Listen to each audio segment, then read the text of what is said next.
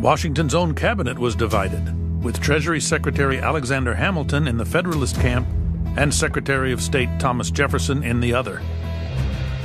You could see this struggle between what will dominate in American political economy. That is, what kinds of laws and policies will government set?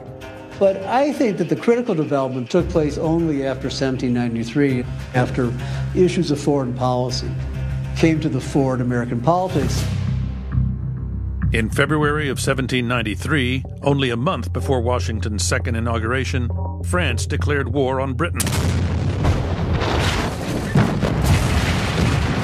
And the United States found itself caught between the two. Washington made a daring decision. The last thing in the world the United States needed in the 1790s was to become caught up in Europe's murderous quarrels. We would not have survived, militarily or otherwise. And Washington did something extraordinarily bold. Washington issued a neutrality proclamation. There was some question whether this was even constitutional. Presidents don't get to declare war, Congress declares war. And neutrality is sort of saying we're not going to go to war. So where does the president get off declaring neutrality?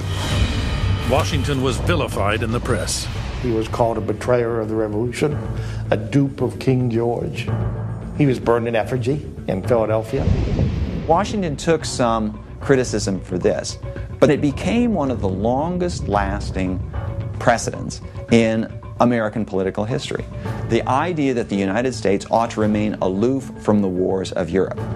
What Washington does is to set early on the precedent that the American president makes foreign policy.